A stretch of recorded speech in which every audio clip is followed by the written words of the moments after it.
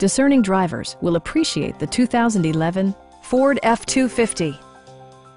Smooth gear shifts are achieved thanks to the powerful eight-cylinder engine.